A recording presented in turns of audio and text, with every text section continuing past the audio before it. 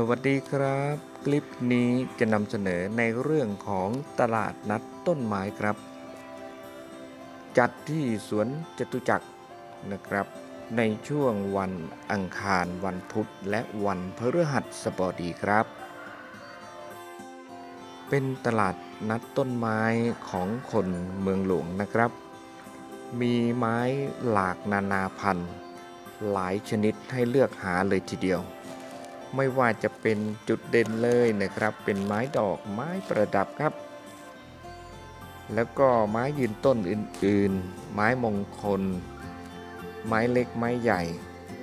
แม้กระทั่งดอกไม้ซึ่งเป็นออดอกไม้พลาสติก ดอกไม้ประดิษฐ์ต่างๆ ก็มีครับ ให้พวกเราได้เลือกซื้อหากันได้เลยทีเดียวครับ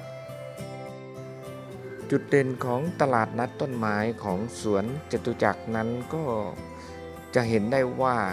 ให้ความสะดวกนะครับ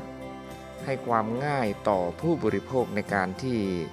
จะมาเลือกซื้อหาต้นไม้ไปปลูกที่บ้านนะครับ ส่วน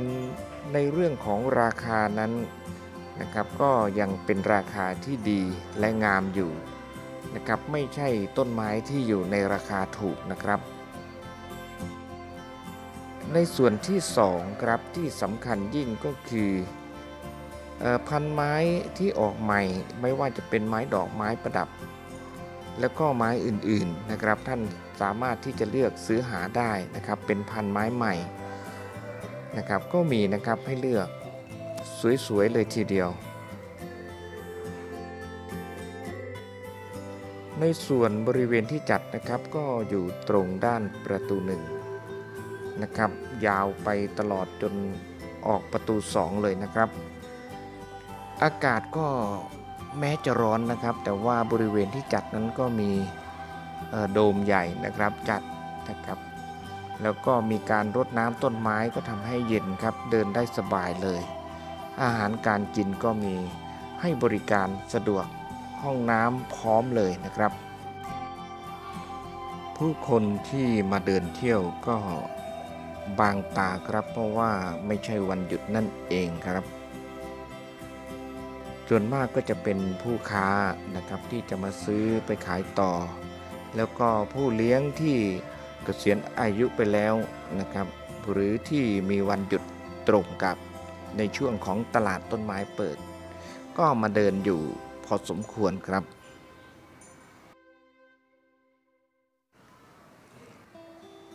พันไม้หลากชนิดที่เขานำมาเสนอนะฮะอย่างนี้ก็เป็นไม้เล็กๆครับ ไม่รู้ว่าชื่ออะไรครับ เป็นไม้นะครับไม่ใช่พลาสติกนะครับที่นำไปปลูกในกระถางจิ๋วๆนะครับ ประดับสวยงามทีเดียวหลากสี เหมือนสับประรดนะครับ ผมก็ไม่รู้จักซะด้วย ใครรู้ช่วยบอกที ในส่วนนี้กล้วยไม้ก็ยังพอมีครับ ขายเป็นห่อใหญ่ห่อเล็กนะครับนะครับสาวิตรีนะครับเฟื่องฟ้ามีหมดเลยครับ หลากชนิดหลายสายพันธุ์ มาเลือกซื้อได้เลย ในโซนนี้ก็จะเป็นไม้กระถางจิ๋วบอนไซแปลกนะครับ เป็นไม้พันธุ์แปลกๆแล้วเอานำมาบอนไซ นะครับปลูกในกระถางเล็กๆ นั่นเองครับ สวยงามทีเดียวครับใครชอบ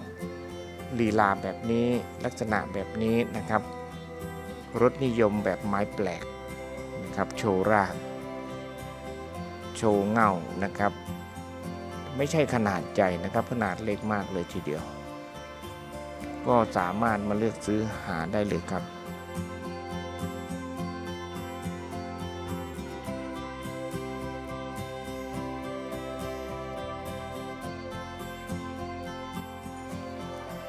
ถ้าเป็นโซนไม้ดอกไม้ประดับนะครับ ในส่วนของซุ้มใหญ่ สามารถเดินได้ทั้งวันเลยครับ ตรงนี้ร่มดีทีเดียว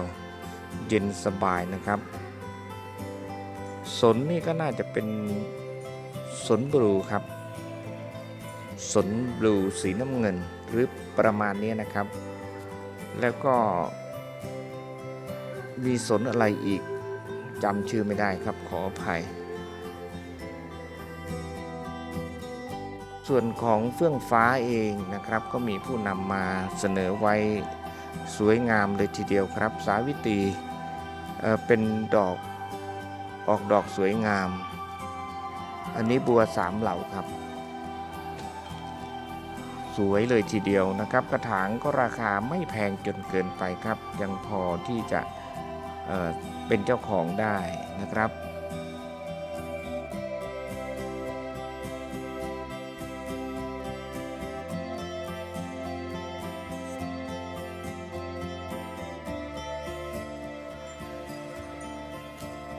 ในส่วนนี้ก็เป็นไม้น้ำครับ เป็นพืชที่ปลูกในน้ำเหมือนลำพูลำแพนอะไรประมาณนี้ครับ น่าจะชื่อว่าฝาดทองนะฮะลักษณะก็ปลูกง่ายครับนะฮะผมก็ให้ดูเลยนะรายละเอียดของกิ่งก็สวยนำมาทำบอนไซก็น่าจะได้ แต่ข้อเสียของเขาก็คือ เมื่อตัดแล้วไม่งอกไม่แตกกิ่งครับ ส่วนของประดับตกแต่งก็จะมีอยู่ไม่มากนะครับไม่มากเท่าไหร่ครับ ในส่วนอื่นก็จะเป็นต้นไม้มากกว่านะครับ มีไม้ช่อให้ดูอยู่ครับ ไม้ช่อก็มีนะครับ ไม้ช่อไม้ดัด สนจูนิเปอร์นะสนก็มีครับจะมีสนใบพายก็มีมาขายอยู่ ไม่แพงนักนะครับ ในส่วนของสน นะครับ พอหยิบจับได้อยู่ครับไม่แพงจนเกินไป แล้วก็ส่วนมากต้นไม้เขาเลี้ยงโต อันนี้เป็นไม้แปลกครับ ผมก็จำชื่อไม่ได้แล้วต้องขออภัยครับ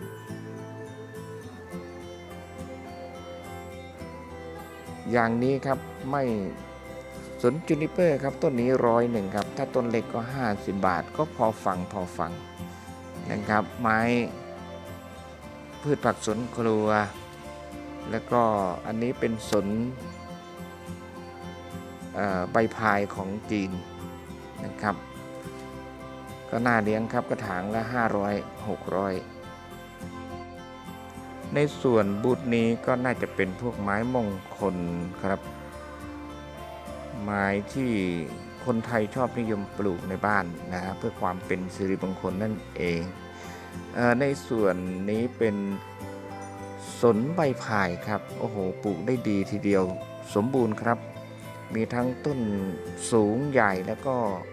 ถุงขนาดเล็ก ก็ไม่เล็กมากครับ ก็อยู่ที่กระถางละ 500 600 บาทนะครับ บูธนี้เป็นมะขามล้วนๆเลยครับของคุณเลิศนะครับ และ คลิปนี้เราก็คงลาไปก่อนนะครับ พบกันใหม่ครับ สวัสดีครับ